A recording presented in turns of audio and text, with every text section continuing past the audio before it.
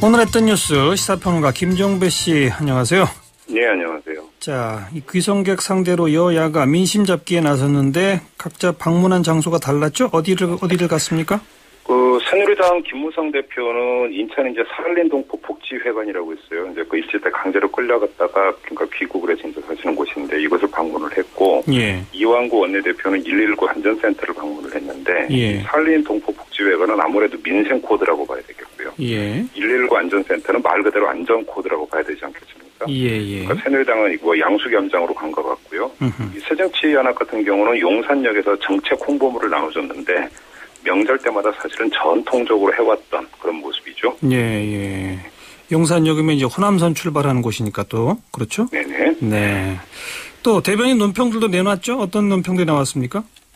뭐, 이 새정치 민주연합은 주로 세월호법, 역시 세월호법을 이야기를 했고요. 새누리당 대변인 같은 경우는 뭐 민생, 경제, 그러면서 또 세월호 특별법도 언급을 했는데 약간씩의 지금 결이 다른데 좀 음. 정리를 해서 말씀을 드리면 예. 이 새정치 민주연합 같은 경우는 세월호 특별법이 최대의 민생 현안이라고 주장을 해오지 않았습니까? 그렇죠. 그래서 이 정기국회에서 이 분리 처리를 하자 세월호 특 별법과 민생법원은 분리 처리를 하자는 여당의 주장에 대해서 이렇게 맞서왔기 때문에 이 세월호 특별법에 거의 올인을 하는 이런 모습을 안 보일 수가 없는 거겠고요. 예. 이 새누리당 같은 경우는 경제 활성화 화두가 세월호 특별법하고 같이 가는 것을 좀 원하는 것 같습니다. 더 정확하게 말씀을 드리면 경제 활성화 화두가 세월호 특별법을 일정하게 무디게 해주기를 좀 기대를 하고 있는 것 같은데 예, 예. 그럼에도 불구하고 또 특별법을 언급을 함으로써 일정한 어떤 방어적 측면도 같이 띄고 있는 이렇게. 논평을 이렇게 읽으면 될 것 같아요. 예, 예. 그, 그래서 결국 추석 밥상에서 국민들이 어떤 얘기를 더 많이 할 것이냐, 거기에 영향을 미치기 위해서 지금 여야가 그렇게 조금 결이 다른 목소리를 내는 거 아니겠습니까? 그렇게 봐야 되겠죠. 크게 본다면 그게 이제 두 갈래일 것 같은데요. 하나는 역시 세월호 특별법이겠고 예. 또 하나는 이제 뭐 그러니까 경제니 민생니 뭐 조금씩 단어는 다지만 간단히 얘기는 먹고 사는 문제 아니겠습니까? 예, 예. 근데 이제 그 이 명절의 특성이라고 하는 것이 가족의 존재를 부각시킨다라는 점, 이 점에 입각해서 본다면 이 세월호 특별법이 어떤 식으로든지 간에 밥상머리에서 집중적으로 거론될 가능성을 배제를 할 수가 없겠죠. 예. 그런데 또 그 한편으로는 내 자식 먹고 사는 문제 당연히 부모들 입장에서 걱정하지 않겠습니까? 그렇죠.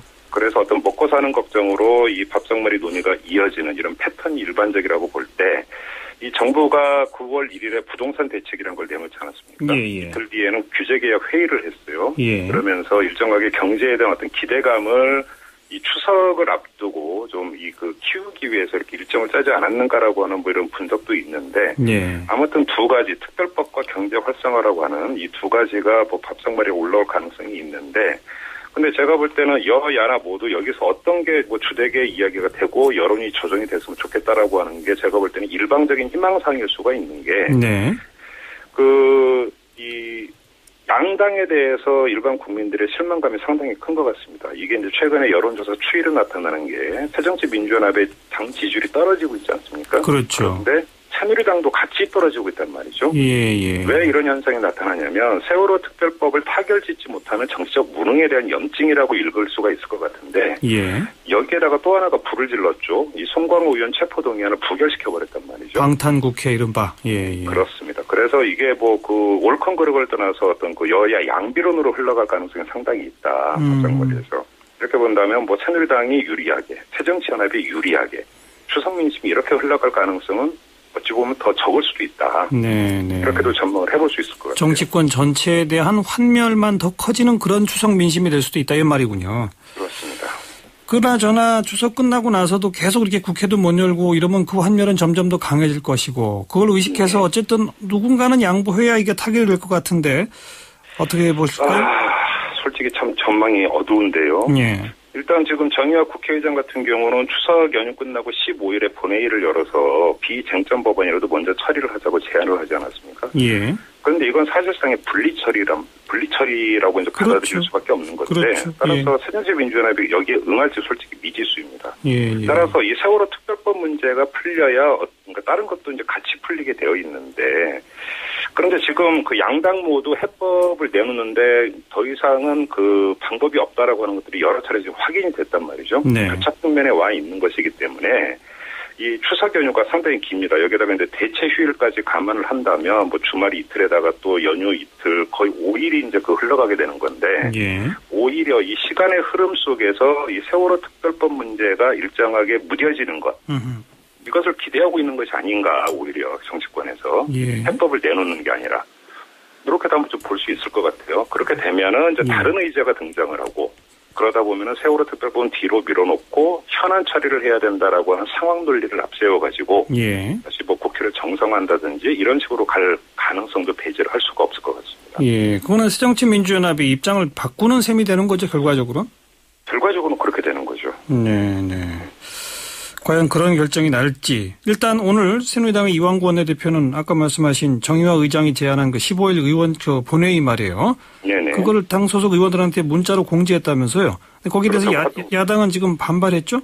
그렇습니다. 이게 뭐, 뭐, 새누리당 입장에서 나쁠 게 없죠. 음흠. 그런데 이제 그 새정치 민주연합 같은 경우는 얘기- 아까도 말씀을 드렸다시피 그것이 결국은 분리처리이니까 지금까지 당의 기조와는 좀 다른 것이죠. 그래서 이게 이제 국회의장이 어찌 보면 중립을 지켜야 되는데 내용적으로는 안쪽으로 쏠리는 것이 아니냐 새정치연합에서는 이렇게도 볼 수가 있는 것이죠. 예. 15일 본회의는 지금으로서는 열릴지 안, 안 열릴지 가늠하기 쉽지 않네요. 네네. 김종배 씨 아까 분석대로 혹시 그 현안 처리 쪽으로 새정치민주연합이 입장을 바꾼다면 열릴 수도 있다. 그렇죠. 음.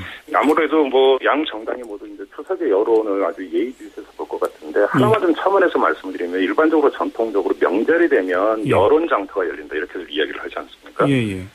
그런데 이제 뭐냐면 민족 대이동이 있기 때문에 여기서 각종 정보와 의견이 섞이면서 하나의 여론이 형성이 된다 이런 그 전제가 깔려 있는 건데 예. 다른 쪽에서는 뭐 꼭 그렇지도 않다라는 이야기도 많이 나오고 있어요. 예. 왜냐하면 미디어 환경이 많이 바뀌었기 때문에 예. 뭐 수도권에 있는 그 자식들이 이제 고향에 가서 정보를 주고 음흠. 또 부모의 의견이 여기서 버무려지면서 여론이 형성되는 이미 그런 시대가 아니다. 아. 또 이렇게 이야기하는 사람들이 있기 때문에 예, 예. 민심의 여론이라고 하는 게 하나의 분수령을 이루면서 확 바뀌고 이렇게 가지를 또 않을 수도 있다라는 거죠. 원래 생각하던 대로 그냥 생각들 하시지 않겠어요? 예. 그러게 말입니다. 네네. 자, 여기까지 듣겠습니다. 고맙습니다. 고맙습니다. 시사평론가 김종배 씨였습니다.